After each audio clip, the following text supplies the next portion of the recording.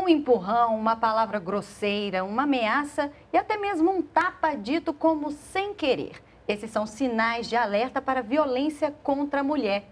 Se calar nunca é opção. Denuncie sempre, seja você a vítima ou a pessoa que presencia o fato. O Ligue 180 está aí para isso. Quer saber como esse canal funciona? Fique comigo e assista ao Saiba Mais.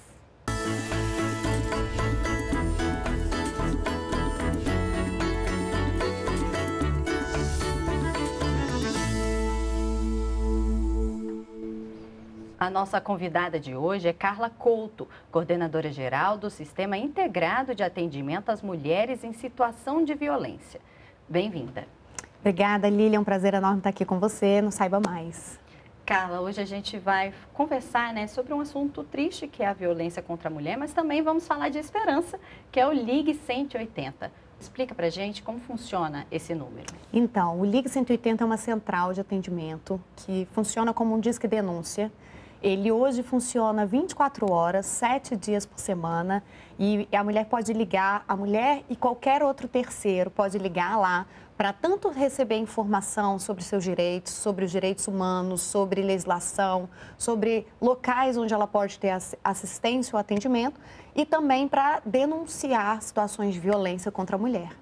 É bom você falar aqui todos os dias da semana, porque isso inclui também feriados, Sim. fins de semana, então pode ligar a qualquer momento. A qualquer momento nós temos a central funcionando para atender, para receber essas demandas todos os dias, finais de semana, dias santos, feriados, em qualquer momento. Como você falou aqui, né? Ele é um canal não só de denúncias, mas também presta informações sobre os direitos da mulher e também abrange mais do que o nosso país, vai para fora do Brasil. Então vamos dar uma olhadinha aqui, quais são esses países que têm a presença do LIC 180. Então, o canal, ele está na Argentina, Bélgica, Espanha, Estados Unidos, lá em São Francisco, França, Guiana Francesa, Holanda, Inglaterra, Itália, Luxemburgo, Noruega, Paraguai, Portugal, Suíça, Uruguai e Venezuela. Então, nós estamos não só no Brasil, mas também em outros 16 países. Eu quero só acrescentar Boston, nos Estados Unidos, a gente Maravilha. também tem uma central. E como funciona? Não só aqui no Brasil, mas nos outros 16 países, a gente também recebe as denúncias, informações. A mulher tem um, um telefone para ligar e esse telefone é transferido para a central aqui no Brasil. Uhum. E as meninas aqui com treinamento, inclusive nós temos atendentes bilíngues em espanhol e inglês. E essas meninas fazem o atendimento dessa mulher, dessa pessoa que está ligando e presta todas as informações e registra as denúncias também. Tem outras formas diferentes da gente fazer esse registro da denúncia? Então, tem sim. Nós temos outros canais que são abertos. Como a gente tem um país com muita diversificação e com muitas culturas né, aqui dentro, a gente tem outras formas também. Nós temos o, o canal pelo e-mail ligue180.mdh.gov.br. Nós temos também o site do Humaniza Redes e o Proteja Brasil, que é um aplicativo que você pode baixar e registrar a sua denúncia sem menor problema. O Ligue 180, ele possibilita a elaboração de políticas públicas? Muito. A grande verdade é que nós temos um banco de dados e esses dados a gente transforma muitas vezes em informação e essas informações são, são subsidiárias para a construção das políticas públicas. Então, a gente tem hoje uma faixa etária é, a gente tem hoje um perfil de vítima, a gente uhum. tem hoje locais onde tem acontecido maior número de violações ou onde as mulheres têm pedido mais, mais informações a respeito de determinados assuntos. E essas informações, elas subsidiam, sim, as, as construções de políticas públicas. É como se fosse um mapa da violência contra a mulher, né? É, eu costumo dizer que é uma carinha do Brasil pelo Ligue 180. E o Ligue 180, ele surgiu de que necessidade? Como que ele surgiu, né? Há quanto tempo ele existe? Então, o Ligue 180 existe desde 2005, ele foi criado como um canal de informação e em 2014 ele passou, teve uma alteração na lei de criação dele, ele passou a ser um disque denúncia. Ele deixou de dar somente informação e passou a registrar as denúncias e fazer os encaminhamentos dessas denúncias para os outros órgãos competentes. Agora nós vamos ver quais são as principais violações cometidas contra a mulher. Nós trouxemos aqui para deixar bem claro o que não pode acontecer de maneira alguma. E uma vez que percebe, denuncie violência doméstica e familiar, assédio, feminicídio, importunação sexual, tráfico de mulheres, cárcere privado, violência contra a diversidade religiosa, violência no esporte, homicídio, violência institucional violência física, violência moral, patrimonial, policial, psicológica, obstétrica, sexual, virtual, trabalho escravo, atendimento internacional. Então, para deixar claro, xingou, empurrou, ameaçou, até o fato mesmo de reter o dinheiro isso é sim uma violência e precisa sim, ser denunciado. Isso é uma violência. Quando há um casal que tinha uma convivência e por algum motivo existiu uma pensão, uma ajuda de custo é, subsidiada essa mulher, uhum. é, o fato do, do, do, marido ou do ex-companheiro reter essa, esse auxílio ou essa pensão ou esse direito da mulher, isso é uma violência e nós chamamos isso de violência patrimonial, que é como é definida pela lei. Infelizmente, muitas das mulheres, elas sofrem mais de uma das violações que a gente citou aqui na Sim, arte. a violência, ela normalmente não acontece somente uma violência. Uhum. Ela acontece várias violações. Então, uma mulher que sofre uma violência física, ela não começou sofrendo uma violência física. Ela começou por uma ameaça, uma violência psicológica, uma violência moral, né? A violência psicológica é aquela que é cometida contra a pessoa da mulher na, na questão emocional emocional. A mulher, ela é diminuída, ela é desvalorizada, uhum. ela recebe um xingamento. É, ela, a violência é cometida contra a autoestima da mulher, contra a personificação da mulher. Né, contra a pessoa da mulher. A violência moral são xingamentos, é, é o momento em que o homem é, descaracteriza a mulher de forma social, né? Ele, ele diminui a mulher de forma social. Os xingamentos, é, a, descre a descredibilização da mulher de forma social é uma violência moral. Pode ser considerada uma violência psicológica, aquela pressão que o companheiro faz do tipo, ah, eu vou me matar se você me deixar, eu vou me suicidar. É, na verdade, ela é mais uma chantagem emocional. Ela não é tipificada pela lei como uma violência psicológica. Tá. A violência psicológica é cometida contra a autoestima da mulher. Tá. Então, tudo aquilo que diminui a mulher para ela mesma, o que faz ela se sentir pior, um xingamento, um você é sua gorda, sua feia, isso é a violência psicológica em, em direção à mulher. Essa ameaça é uma chantagem emocional. E o LIC 180 também, ele coloca bem claro quais são os grupos de mulheres que são violentadas. Então, também nós vamos ver aqui quem são esses grupos de mulheres, né? A gente tem as mulheres negras, idosas, lésbicas, bissexuais e transexuais, com deficiência, restrição de liberdade, situação de rua, comunicadores e jornalistas, imigrantes, emigrantes e refugiadas, comunidades, das águas, árabes do campo, ciganas da floresta, indígenas, judaicas, quilombolas, rurais, tradicionais. Todas. Todas. Todo, é mulher, é, se entende como mulher, ela tem o direito de ligar no LIC 180. E é importante a gente reforçar isso, é, porque existia em alguns momentos alguns canais que não eram acessíveis às comunidades LGBTs, às mulheres que são trans, que são, são bissexuais, e elas entendiam que elas não podiam ter esse tipo de atendimento, e elas podem. É um canal para toda mulher, toda e qualquer mulher, seja uma mulher que tenha uma condição financeira boa, seja uma mulher que não tem condição financeira, que tem uma condição menor ou mais dificultada, é, ela precisa entender que o canal é para ela. É um uhum. canal gratuito, é um canal de atendimento e é um acesso para ela a todas as informações sobre direitos humanos. A violência contra a mulher, ela decorre de que motivação? Então, existem muitos motivos que fazem com que a mulher sofra esse, esse tipo de violência. É, mas algumas delas a gente entende que é, estão muito vinculadas ao, ao contexto sociocultural. Né? É, a falta de compreensão de que não, não aceitar o ciclo de violência, não aceitar a situação de violência, ou de saber colocar limite num, num comportamento que não é adequado, é um dos grandes motivadores para ela se manter no ciclo da violência. De ela não perceber que ela tem um canal ou um, uma, uma ajuda, um apoio para quebrar esse ciclo de violência e para sair dessa situação. E muitas dessas violações, elas não viram denúncia, né? Por que, que as pessoas não denunciam? Então, a gente tem até um fato bem curioso. No balanço do LIC 180, nós percebemos Balanço é um relatório que nós fazemos de todos os dados é, é, coletados durante o ano. E uma, uma das coisas que nós achamos bem curiosa e que foi muito peculiar do ano de 2018 é que o, o Liga 180 tinha um serviço de relatos de violência, que era um serviço em que a mulher ligava e ela poderia conversar uhum. sobre a situação que ela estava passando. E muitas mulheres fazem isso, elas ligam para a central nessa perspectiva de eu preciso conversar com alguém. Uhum. Quando esse serviço foi suspenso, porque é, se teve uma súmula do STJ colocando a, a, violência doméstica com violência física, uma ação incondicionada pública, o que, que seria isso? Um relato de violência não pode deixar de ser denunciado. E quando a central passou a ter esse comportamento, essa atitude, os relatos de violência não poderiam ficar somente nos relatos, mas uhum. eles precisavam se tornar denúncias para serem encaminhadas aos órgãos competentes.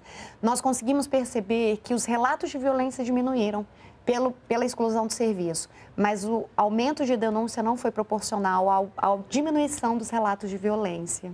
O Ministério da Mulher, da Família e dos Direitos Humanos lançou uma campanha de enfrentamento à violência contra a mulher. É um vídeo maravilhoso. Quem quiser assisti-lo na versão completa é só entrar no YouTube do Ministério. Mas nós vamos ver aqui um trecho dessa campanha que mostra as principais fases do ciclo da violência doméstica e familiar contra a mulher. As fases da tensão, elas são permeadas por é, condutas muitas das vezes não perceptíveis tanto para a mulher quanto para o homem e vem em forma de ofensas, de desqualificações, xingamentos morais, né?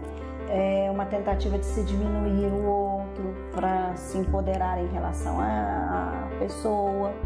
Então ela vem manifestada por ameaças, por controles, por ciúmes excessivos, como se prova de amor fosse.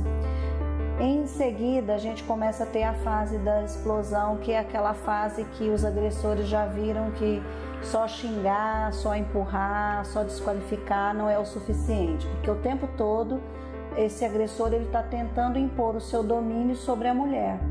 Então, no que ele não consegue, ele vai progredindo nas condutas é, de agressão a essa mulher. Então, na fase da explosão, começam a aparecer uh, os empurrões, os puxões de cabelo, o, os tapas na cara, os chutes, que é diferente dos crimes comuns, que a vítima tem muita certeza de que ela quer que a polícia alcance o agressor, investigue, entregue para a justiça para ele ser punido. Nessa violência contra a mulher existe um componente que eu digo que ele é explosivo, que é o sentimento. Então o sentimento cega, ele faz com que aqueles envolvidos é, estejam sempre decidindo a começar de novo. Só que cada vez que eles começam de novo e não cuidam é, do que está por trás dessas violências, a tendência é que isso vá progredindo e nas próximas agressões as violências acabem sendo muito maiores, podendo chegar até o feminicídio. Essas são as fases do ciclo da violência, né? A gente tem que ficar muito atenta. É aí que a gente identifica que está num relacionamento abusivo? Sim, e é nesse sentido que o Liga 180 também trabalha, nessa conscientização da mulher perceber que um xingamento sim é uma violência, que um empurrão é uma violência e que isso precisa ser abordado nesse momento para impedir que esse ciclo avance e que aconteça algo pior. Agora nós vamos fazer uma pausa e voltamos em seguida. Fique ligado.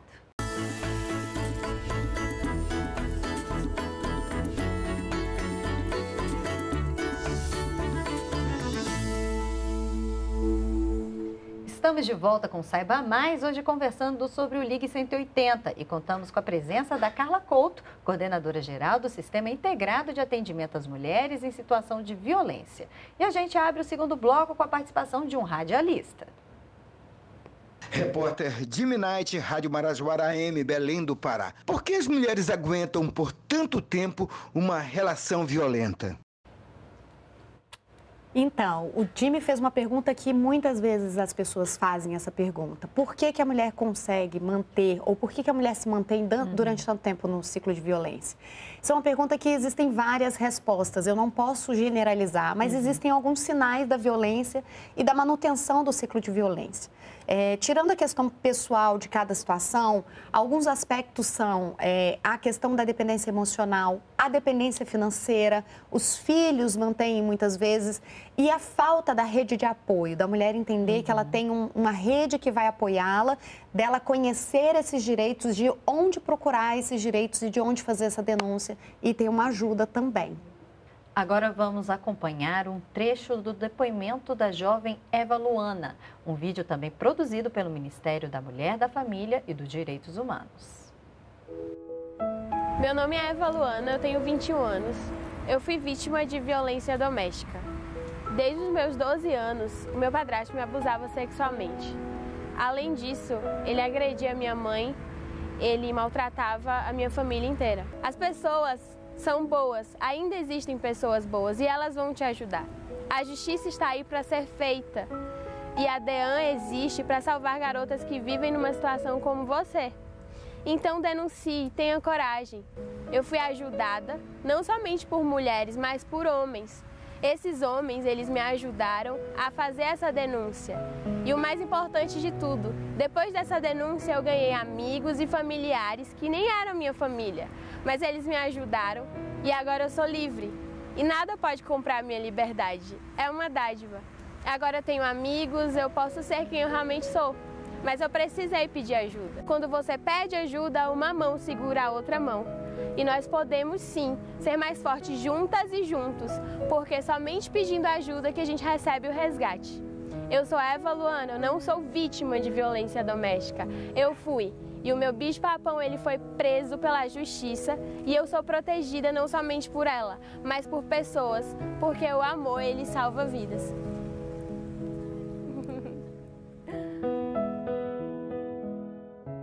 Esperança, né? É verdade.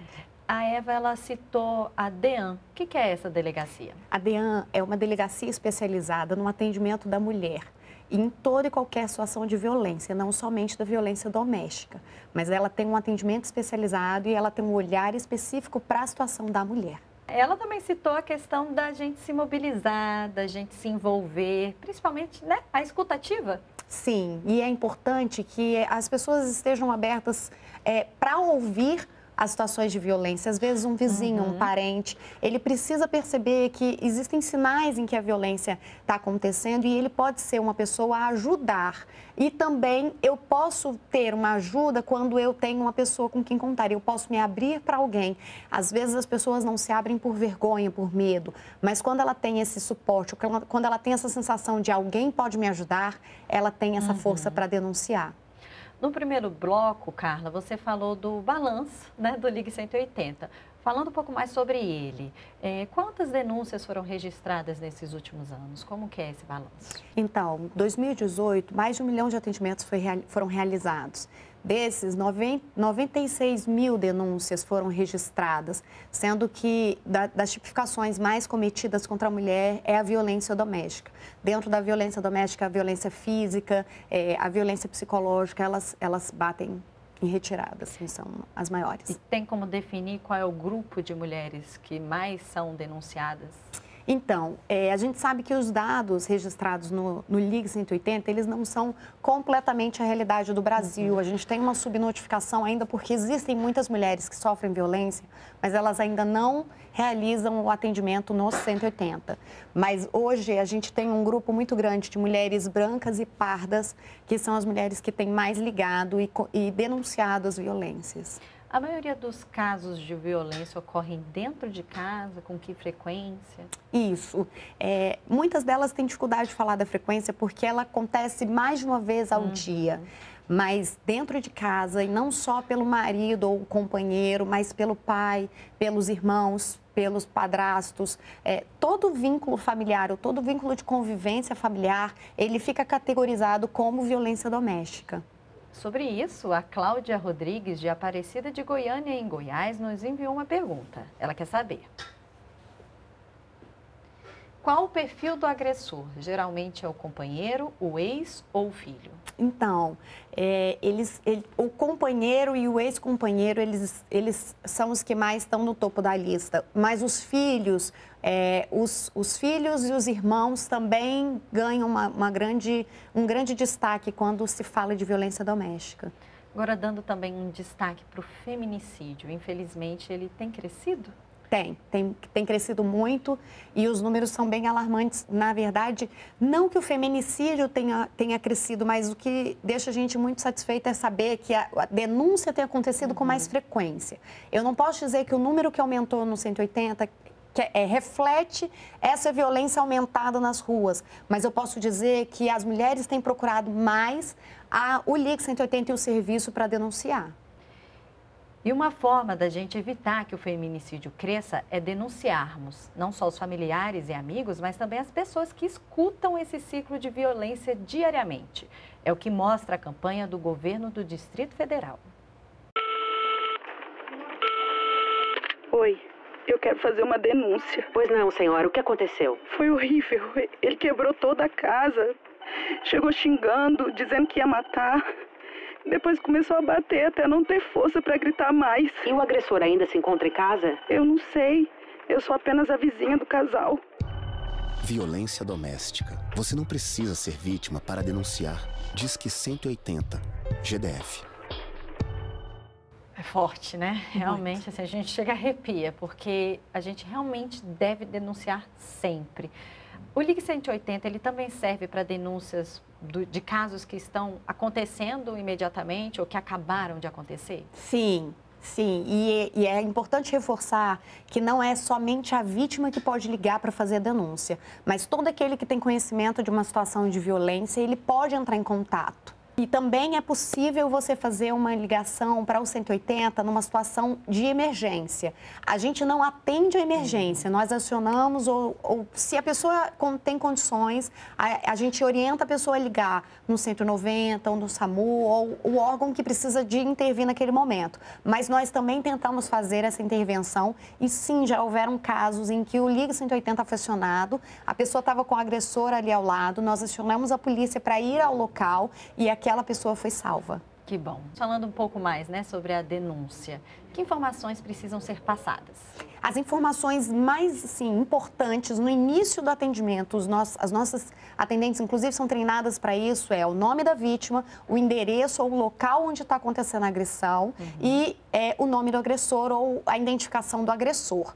A vítima, o agressor e o local são fundamentais uhum. até para a gente poder encontrar aquela situação ou encaminhar para um órgão e o órgão conseguir encontrar aquela, aquela situação. Vamos falar um pouco do fluxo, né? Você já até meio que falou um pouquinho. Então, a gente faz a denúncia, seja vítima, seja um terceiro, e a, o atendente vai receber, vai encaminhar para o órgão competente. E aí, como é que faz? O órgão ele faz a análise, depois responde para o Ligue 180. Como é que chega de novo na vítima ou no denunciante? Então, a denúncia, ela, quando ela é registrada, quando a vítima procura a central, ela é registrada nos nossos sistemas e ela ganha um número de protocolo. E esse hum. protocolo é informado à vítima. Com esse número de protocolo, a vítima pode ter informações posteriores. O que acontece com essa denúncia? Essa denúncia é tratada dentro da central e o que a gente chama de tratamento? Ela é verificada se as informações estão completas, se está faltando alguma, alguma informação, para qual órgão aquela denúncia vai ser uhum. encaminhada, qual que é a demanda daquela pessoa.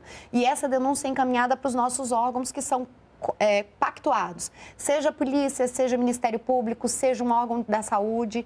Esses órgãos recebem essa denúncia e nós aguardamos a, o retorno dele. O que, que aconteceu com aquela vítima? O que aconteceu com aquela denúncia? Virou inquérito policial, virou algum tipo de atendimento, um procedimento administrativo. E esse retorno nos é dado, nós chamamos de monitoramento. Legal. E que medidas protetivas podem ser utilizadas? Então, quando a vítima é, consegue relatar e fica é, tipificada violência doméstica ou algum tipo de, outro, de, de outra violência, desculpa, quando a vítima consegue relatar e, e, essa denúncia fica registrada, ela pode é, fazer uso da lei né? A lei está a favor dela nesse sentido. Então, ela pode ter o afastamento do agressor do lar, uhum. é, o afastamento da, do convívio, do local de convívio da, da mulher. Então, às vezes, as mulheres ficam com medo de denunciar, mas ele vai me encontrar na rua. Quando há essa medida protetiva, uhum. ele não pode se aproximar do local de convivência daquela mulher. Além do afastamento do lar, a questão do, do suporte patrimonial né, também é disponibilizado uhum. para a vítima. Toda, todo esse recurso que a Lei Maria da Penha é, definiu, a vítima pode fazer uso dele, pode requerer aquele direito. E no caso dessas medidas protetivas serem descumpridas, que penalidades o agressor pode sofrer? Ah, desde prisão, depende muito da forma como é feito, né? E qual é a medida que foi estabelecida. Mas desde a prisão até o afastamento, até, enfim, a intervenção policial, uhum. isso é possível de acontecer. Então, se uma mulher está com uma medida protetiva e, e o agressor está se aproximando dela, ela pode ligar na polícia e ela pode denunciar e a polícia vai em socorro dela de imediato.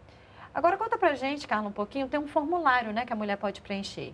É, quando a mulher liga na, na central para registrar a denúncia e é uma situação de violência doméstica, ao mesmo tempo em que ela vai relatando a, a violência, ela também vai preenchendo um questionário chamado FRIDA. É um formulário de avaliação hum. de risco. Para que serve o FRIDA? O FRIDA, ele foi construído pela União Europeia, técnicos da União Europeia, junto com o CNMP, eles trouxeram essa, essa inteligência para nós. E foi muito bacana porque com a parceria do Ministério com o CNMP, a gente pôde implantar o FRIDA no 180. Ele serve para classificar o grau de risco que aquela mulher está sofrendo. Então, hoje, a denúncia vai encaminhada para o órgão, não somente uma denúncia, mas além da denúncia, o órgão recebe qual é a gravidade daquela situação. Para que, que isso é importante? Porque a medida de intervenção, ela se torna imediata e ela é mais rápida e, e o órgão consegue perceber a necessidade daquela mulher de receber o atendimento. Para a gente finalizar, o Ligue 180 ele está previsto em que legislação? Ele está previsto tanto na Lei 10.714 de 2005, quanto ele foi alterado pela 1325 de 2014. É importante a gente reforçar que ele foi criado por lei. Então não existe a possibilidade do 180 se desfazer ou hum. dele acabar. Ele vai permanecer e está cada dia mais forte. E ele veio antes da Lei Maria da Penha, né? Isso, e ele veio bem antes da Maria da Penha. Carla, obrigada pelos esclarecimentos. Por nada. Fica aí de sugestão, entra no site, acompanhe o nosso trabalho e denuncie. Não deixe a violência em silêncio. Até uma próxima oportunidade. E você fique atento, não se cale, não deixe de denunciar e proteger quem mais precisa. Vamos interromper o ciclo de violência contra a mulher. Ligue 180. Com esse número em mente, a gente encerra o programa de hoje. Obrigada por sua audiência e até a próxima.